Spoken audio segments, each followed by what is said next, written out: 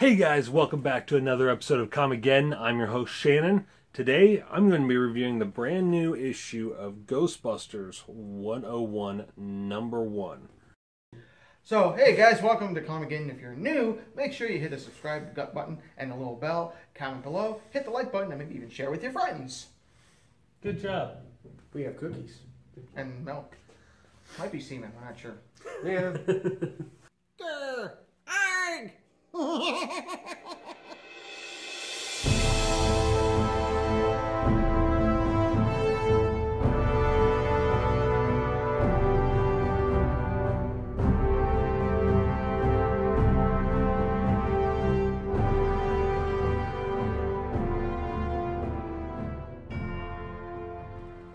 In this, the the original Ghostbusters, Ray, Peter, uh, Egon, and Winston team up with the new uh, Answer the Call Ghostbusters. All right, so the story starts off with the guys at Coney Island um, out to capture a ghost. Um, right there. Yeah. Basically, a guy just uh, passed away, and he spent his whole life wishing for the amusement park at Coney Island to be reopened, all that. So when he died, first thing he did was he recreated the Coney Island uh, theme park. Of course, he did so right above a massive pool of positively charged slime. Like in Ghostbusters 2, only that was negatively charged slime. Uh, they had to positively charge slime so that, to get the uh, Statue of Liberty to move and to defeat Vigo. So this is actually positive charged slime. I'm having nothing but problems with this thing right now. All right, there's, yeah. Uh, so they finally end up uh, managing to capture him. But in the process, they end up having to explode this pool of positively charged slime because, in order to neutralize it, they had to fuel it with negative emotion. One of those negative emotions was that Egon peed in the pool of slime. and they have they ended up uh, setting off an ecto grenade inside the pool, causing it to explode, which really, really upset the people of New York. But to top it off, when they first decide to negatively charge the slime to neutralize it, the first thing Egon does is punch Ray right in the nose. so Ray's just like, you know, we could have done something better to ch- negatively charge the slime. Um, you didn't have to punch me in the nose, and Egon's just like, sorry, it was a, it was a reaction. My first reaction to having to negatively charge it. So here you can see the pool of slime is exploding from all the fire hydrants and everything, and it starts raining slime, neutralized slime. But this causes the EPA to pay a visit to the Paranormal Contracts Oversight Commission, which is headed by none other than Walter Peck. and it, it's really funny because in the first movie, Walter Peck worked for the EPA, and then this guy who's an even bigger douchebag than Walter Peck was. uh, he goes to Peck's office and he's like, "Do you have any idea of the position the EPA must take on this?" And Peck's like, "Are you? You are not seriously asking me that." and this dude's just Peck knows realizes what kind of a douchebag he was when he first met the Ghostbusters at this point. Uh, the guy from the EPA, he says, "Take care of this, or I'm going to have you guys deported to Guam." And as he's leaving, Peck's just like, "Guam is a United States territory, idiot." so anyway, Ray is back at the firehouse, and apparently uh, the issue before, Janine's niece and two of her friends had gotten a hold of uh, Ghost Trap and Proton Pack and decided to take matters into their own hands and resolve the issue themselves. And it led to Janine forcing them to be lectured by Ray Stantz. And in this series, Haley Griffin from the Extreme Ghostbusters is Ray's assistant. Uh, she started out as shop help at Ray's Occult Books, and then Ray brought her on to the Ghostbusters team. She is part of Ghostbusters International now, which is a whole separate thing. Um, it's jo- it's uh, Haley as, along with two others, plus a veteran Ghostbuster. Uh, they usually go out of country, you know. Uh, there's also another team of Ghostbusters, which is the Chicago branch, which is just two guys. Uh, one is the rookie from the Ghostbusters video game, and the other is a uh, ex-con who um, he tried stealing the Ghostbusters equipment. Haley's like, you know, you guys have had enough of the lecturing. You want to see some cool stuff. They all raise their hands. They're bored out of their minds.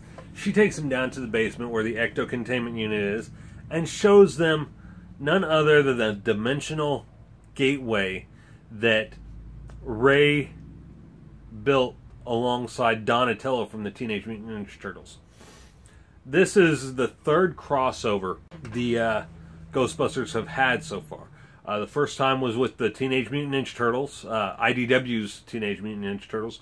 Second time was with the real Ghostbusters from the animated series from the 90s, 80s and 90s. And this time it's with the new Ghostbusters. Peck pays a pays a visit to the Ghostbusters, and uh, he he's he's kind of becoming less of a douchebag. He's forced to have to lecture the Ghostbusters on, you know, you got to be more careful with this stuff because the amount that the EPA is finding, planning to fine you guys, you don't have enough uh, in your budget that you're bringing in to cover this. You're going your doors are going to be closed down. Peter's just like uh he's joking and all this and saying whoop de doo, you know, and Peck he just says, This isn't the time for jokes, Mr. Venkman. This idiotic representative from the EPA has a very real way to finally bring down your firm, and more importantly, my reputation. And of course, Winston and Ray. Um, Winston says, You're griping about a jerk from the EPA. and Ray, Why, it's practically Christmas. and Peter just says, Ray's right. This is a dream come true. Hang on, I have a tape recorder in here somewhere. I'll just I'll just need you to say all that again. While Peck is worried about the Ghostbusters closing down as well as his professional reputation, Peter comes up with the great idea of, hey, why don't we charge people to teach them how to be Ghostbuster, Basically, like um, a day camp for adults. And then when they'll keep their eye out for anyone who's anyone who shows shows promise as a Ghostbuster, and then they'll charge them to train them how to be professional Ghostbusters, and then eventually uh, recruit them as a Ghostbuster as well. And Peck, he's just astonished, like, hey, that's not a bad idea. so, anyway, while Haley and the three, Janine's niece and her friends are downstairs, Haley opens a gateway to another dimension. This dimension, we find out, is the Answer the Call Ghostbusters universe. Um, it's also revealed that if the gateway is stays open for too long, it attracts ghosts because the gateway, the thing in between dimensions, is made out of the same stuff that ghosts are made out of. If it stays open too long, it can seriously uh, attract several ghosts, and they're just, you know, something goes wrong, and after they leave, and you know, the gateway starts to sizzle. All right, see, here's a ghost coming in. Haley has to hurry up and shut it off and then it starts to sizzle once they leave. That's when the answer the call Ghostbusters come in, and they really portray them very well. Uh, you got Holtzmann and Patty who end up uh, busting this ghost, and it ends up flying in at Holtzmann, and Holtzmann's like, "Okay, I've had enough of this. You know, time to uh, time to get serious, and she pulls out her little toy and just destroys the ghost. And of course, Abby wants them to bring back a ghost so that she can study it. so Patty's trying to. They're covered in slime there. Patty's just like, okay, they want us to bring one in, uh, so no more disintegration. Basically, like Darth Vader to Boba Fett. Um, and of course, Kevin's in the background wearing a broccoli costume, uh, doing some Tai Chi or something. I don't know. I, I couldn't really stand the Kevin character in the movie. Abby starts to realize that something strange is well, something strange is going on. Something's wrong. She says, uh, anyway, something's not right. What if the dimensional dam is about to burst? What if we have to save the world again? We need to be prepared. Abby, the end of the world doesn't really happen every week. So there's a lot of foreshadowing in this issue. It is just the first issue. And of course, it is backed up with a Ghostbusters International story. Uh, it's just a partial story. First couple pages where Ray's getting his t- uh, tarot read or whatever. But anyway, usually um, Ghostbuster team ups are about four issues long. Uh, however, I think this one's going to end up being six. I could be wrong. In Teenage Mutant Ninja Turtles Ghostbusters is four issues. Ghostbusters Get Real was four issues. So this is going to be a little bit longer, I think. I think it needs to be because they're talking about both universes actually merging together. And I think this is actually going to be the Answer the Call Ghostbusters introduction into the comics. Um, if it's well received, like I'm hoping, uh, they're probably going to continue their story in comic book form like they did with the Ghostbusters, or with the original Ghostbusters. I really, really enjoy what IDW is doing with Ghostbusters. I enjoy what they've done with Ghostbusters in the past. I've got the Volume 1 Omnibus right here. Uh, I really enjoy it. Um, I've got the Ghostbusters Get Real and Ghostbusters Ninja Turtles crossovers uh, on digital download. I've even got a few issues of uh, Ghostbusters International and a few others. Um, so yeah, I'm really enjoying what IDW is doing. I hope they continue. It, it's pretty seamless as to you could go straight from watching the movies to reading these comics. It's set in the same universe. They have the characters down pat. They really they really did their homework on the original Ghostbusters, on the Answer the Call Ghostbusters. Uh, they're they're doing a great job. I really enjoy it. Can't say enough about it. Uh, like I said, the first issue of Ghostbusters 101 was a little dull. Um, however, it's setting things up uh, for things to come.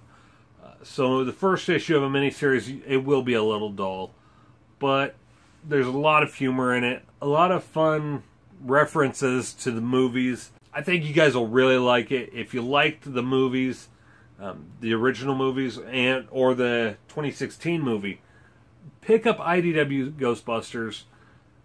Great comics. You'll you'll get a kick out of them. Um, they're they're like little mini movies. I really like. I was I wasn't too into it at first, but I really like the direction the art uh, has gone with in these. Um, there's a good one. It really captures the Ghostbusters. Um, it's not an exact uh, reference to their character or their um, features, uh, their likeness, but it's close enough you know who's who, and it, it it just really sets them apart from anything else that's ever been created on uh, in Ghostbuster comics. Um, in the real Ghostbusters, like I said before, uh, Ghostbusters Get Real. That was a great storyline. I'm hoping Ghostbusters 101 is a good storyline. Uh, eventually, I will be doing a review on Ghostbusters Ninja Turtles. I haven't got to it yet. I've got to reread it. Uh, it's been a while since I've read it.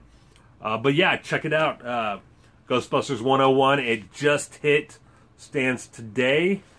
Um, luckily, mine, I got mine at 11 o'clock last night. I pre ordered it off Amazon and Comixology. As Amazon took out of my bank account at exactly 11 o'clock. And at 11.02, Ghostbusters 101, issue number one, was on my Kindle, ready to go. Check it out, guys. I hope you guys enjoy it. I hope you guys like this review. And I'll be back again with a review of issue number two. Hopefully, I'm going to try and get each issue of the series as it comes out so that I can come on here and review it for you guys the day it's released. Take care, guys.